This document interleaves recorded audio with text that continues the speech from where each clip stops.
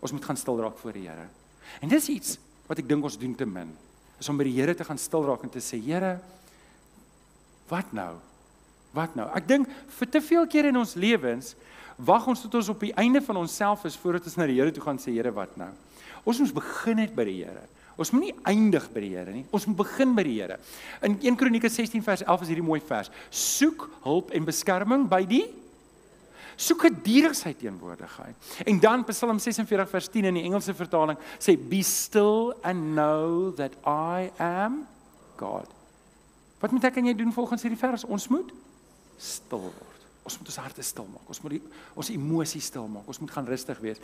En dis die eerste ding wat ek moet doen wanneer ek verby daai u-draai is en ek kry die koue gevoel, nou het ek 'n fout gemaak of nou het ek moeilikheid. Ek moet stil word voor die Here. En En dis waar ek vanoggend met jou wil praat. Ek wil vanoggend hierdie ding vasmaak want ek weet baie keer gebeur daar goed in ons lewe eh, wat ons lewe onherroepelik verander. Nou ek het hierdie Engels probeer. Um ek het in die Afrikaans klink dit of dit irrevocable is, maar dis nie irrevocable nie. Dis irrevo ir nee never mind. Vergeet dit. Maar dis nie irrevocable nie. Dis hoe mense daai woord uitspreek nie. Hy spreek hom anders uit. Okay, onherroepelik. Dis wanneer goed in ons lewe gebeur wat jy weet, nou iets gebeur en dinge gaan nooit weer dieselfde wees. Wie van julle het al so 'n insident gehad?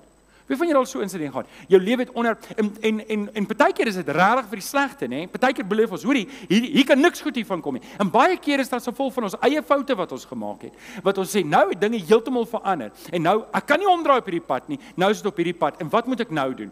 En en en en ek weet nie as julle soos ek is nie, wie van julle is ook Mighty Warriors? Is wie van julle is die Mighty Warriors hier tussen ons? Hier's 'n paar Mighty Warriors. So dis die eerste ding wat ek doen. Eerste ding wat ek doen is ek gaan bid en ek gaan worstel voor die Here nie. Eerste ding wat ek doen is nou gaan ek worry. En dit snaaks hoe effektief worry is. Het jy al agtergekom hoeveel probleme kan worry oplos, nê? Nee? Kom ek sê vir jou waarvoor is worry goed? Worry help jou om uit te vind wat kan nog alles skeefloop. Dit doen dit baie goed, nê. Nee. Ek wil weet jy wat dan jy baie bewus van wat kan nog alles skeefloop. En wat het ons die vorige week geleer van Murphy's law? Alles wat kan skeefloop, En ja, dan moet jy beplan volgens dit. En dis nie wat die Here wil hê nie. Die Here wil nie hê ek en jy moet daar wees nie. Dit is wanhoop en dis die gebrek aan vertroue. So ek en jy moet verstaan vir die wat in Christus Jesus is. Die wat die Here Jesus aangeneem. Selfs al maak jy foute, jy kan nog steeds in oorwinning lewe. Jy kan nog steeds by die Here lewe. Jy kan nog steeds jou krag in die Here kry.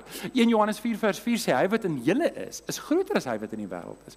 En daarom moet ek en jy in die Here rus. Wat moet ek doen as ek verby daai punt is? Wel, Eerste ding wat ek moet is, ek moet stil word. Maak jou hart stil voor die Here. Gaan wees sonder jou af. Gaan na die Here toe en sê Here, hier is hierdie situasie. Hier is hierdie situasie. Hier is hierdie goed wat skeef geloop het in my lewe. En dis dalk waar jy nou is. Dis waar jy waar jy nou is in jou lewe. Jy kyk en dit is nou Kerstyd en almal is bly en almal sing liedjies en alles, maar hier's 'n bekommernis in jou hart. Hier's 'n seer in jou hart. Hier's 'n paniek, hier's 'n angs in jou hart. Moenie vir almal gaan vertel van jou angs en jou paniek nie. Gaan na die Here toe. Dis waar jy moet begin. Be still and know that I'm God.